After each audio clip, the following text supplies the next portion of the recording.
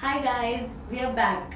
AglaSem.com has again picked up some amazing tricks and tips for your upcoming 12th board exam. Subject will be physics and now I'm going to tell you some amazing tips. Number one, study all derivations, definitions, diagrams and memorize formula and units of physical quantities. Prepare a variety of conceptual questions based on application of laws, principles and solve related numericals. Practice makes a man perfect as you all know. Solve the last 5 year board papers under exam conditions sticking to the time limit of 3 hours which makes you familiar with the paper pattern and makes you more confident. Devote some time for meditation and exercise to increase your concentration power you definitely need to relax first and then only you can go a step ahead. Now, CBSE sample papers.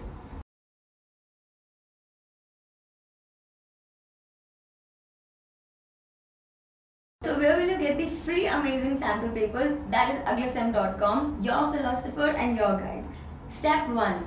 Go to aglasem.com, search CBSE sample papers now go to CBSE sample papers for class 12th board exam. You can see several links of CBSE sample papers. Select your subject. Get CBSE sample papers. As I already said that practice makes a man perfect, you should definitely go through all the sample papers. We're talking about physics right now, so click on physics and you'll get all the sample papers you want. Examination pattern. A Total time duration will be of 3 hours and maximum marks will be 70 marks weightage to learning outcome, your answers depends upon your knowledge, understanding and application. Based on this criteria, you score. Weightage to form of questions. Now, there are typically five kind of questions.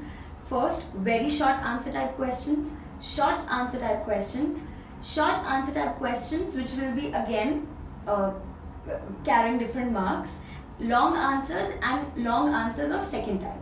Now, very short answer type questions. Uh, very short answer type questions are of one mark each and there will be total number of five questions. The expected time for each question will be approximately two minutes. Short, uh, now coming on to the short answer type questions, marks for each question will be two and number of questions will be again five. Expected time will be 8 minutes to 4 minutes. Then we come to second type of short answer type questions will be of which will be of 3 marks each and there will be total number of 12 questions. This is the section which you can actually score very well and very much because the uh, difficulty level is average here. So you have to again give 8 minutes to 4 minutes to each question. Then we come to long answer type questions. These carry uh, the maximum marks uh, in your question paper. So there are two kind of long answer type questions which will be 4 marks and 5 marks. So of 4 marks there will be only one question and coming on to on the 5 marks category there will be 3 now 3 questions so you have to divide your time accordingly because these are just the expected time for each question. You need to see from where do you have to start your question paper. Either it will be from the beginning or it will be from the end. From wherever you are gonna start, you should definitely attempt it in a chronological order. Now, weightage to difficulty level of questions.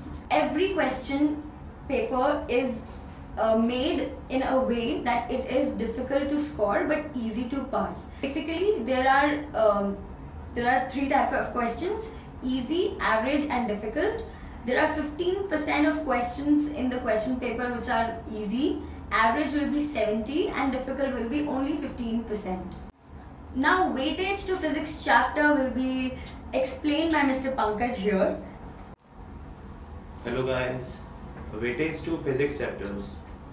There are total 10 chapters in physics which includes electrostatics which uh, have been awarded 8 marks, current electricity which have been awarded uh, 8 marks, magnetic effects of current magnetism, electromagnetic induction and altering currents which includes 8 marks, electromagnetic waves which has been awarded 3 marks, optics which has been awarded 10 marks, dual nature of matter and radiation which includes 4 marks, atomic nucleus which includes 6 marks, solids and semiconductor devices, sorry, which include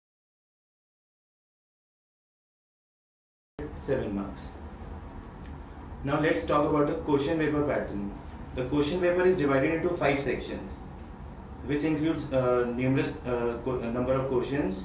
Marks, uh, different marks have been allotted to each question, and there are some internal choices and external choices to the question uh, question paper. Let's talk about section A. There are five questions in section A, which has been allotted one marks each. There will be no choices in this section. Section B, which includes five questions, two marks for each question.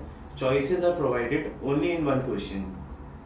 Section C, uh, there are 12 questions in section C, uh, which includes three marks each. Choices are provided only in one question. Section D, uh, it includes one question which is value based question which includes uh, which has been allotted 4 marks and there is no choice. Section E. There are total number of 3 questions in section E which includes 5 marks each and choices are provided in 3 questions. Tips to score marks in exam. Firstly, read the question paper carefully. It is the uh, first and the foremost tip. Secondly, while uh, writing the answers, follow order of question paper. Please tick mark all the questions with pencil on question paper which you have to attempt. Don't write lengthy answers for 1 mark and 2 marks. For 5 marks questions, draw, uh, try to draw quick diagrams if possible as it uh, helps to fetch more marks in exams. Use only blue and black pen in exam, do not use any other color pen. Guys, now we are going to tell you the amazing examination date tips which you need to take care on the day of exam. So first, you should sleep. Get 8 hours of sleep a day before exam at least. Eat moderate breakfast. Punctuality. Reach to examination center 45 minutes before commencement of exam. It's a must thing. Please take care of all the necessary articles which you have to bring to the examination hall. Keep all study material like extra pen, pencil, eraser and hall ticket a night before the exam. And avoid all the nervous students. The students who are nervous, try not to talk to them even if they are friends guys. Read directions. Read all directions in question paper carefully. Read each question. Read each and every question and each and every word carefully. Time management. It is very important not only for this exam but for the, all the uh, upcoming exams. Do not waste your time on particular question. If you don't know any question, proceed to next questions. Guys, you should definitely, definitely remember all these tips which we have provided you today. We'll be back for the next subject sooner. All the best. All the best.